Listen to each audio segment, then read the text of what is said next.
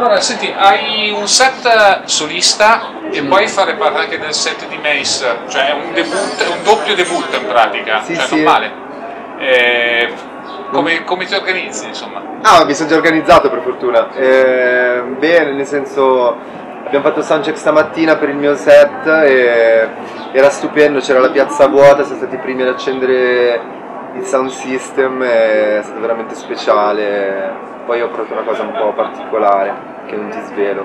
E, e poi ho rifatto il soundcheck con Mace effettivamente almeno, dato che il mio set dura solo 7 minuti, almeno un po' più di tempo su questo palco. Ok.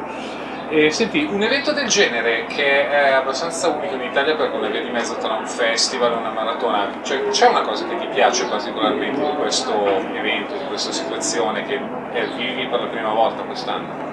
Beh, diciamo il mood generale di, di far parte di, di- di una cosa molto grossa e, e quindi di avere l'occasione di portare qualcosa di diverso in un contesto eh, di questo tipo è una bella occasione. Io poi ogni volta che ho l'occasione per fare qualcosa di, di nuovo mi ci butto, quindi Lo seguivi gli altri anni? ma l'ho seguito da piccolo qualche volta, poi io mh, so- sono andato via di casa a 18 anni e poi non ho più avuto la televisione, quindi no, non l'ho mai più seguito. Quindi e come l'hai trovato cambiato?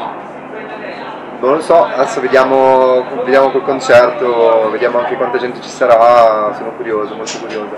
Senti, tu hai fatto una cosa che adesso si usa pochissimo, che si usava tanto tempo fa, registrare i tuoi live, registrare dal vivo, cioè tu dai molta importanza al momento del live, alla... Beh, diciamo che è il mio lavoro vero, nel senso che essendo un musicista poi tutto, quel- tutto il resto è un po' in funzione di quando poi sei di fronte alle persone e condividi qualcosa, quindi sicuramente per me è la cosa più importante di tutte.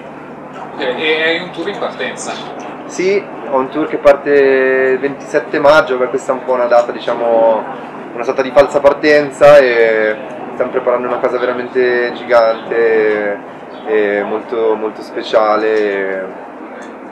Sì, anche le- diverso dall'anno scorso. Le sorprese alle quali hai fatto cenno prima faranno parte del tuo tour, cioè sarà una piccola... Ma sempre ogni cosa che faccio è piena di sorprese, quindi tutta- è sempre così, non mi ripeto mai.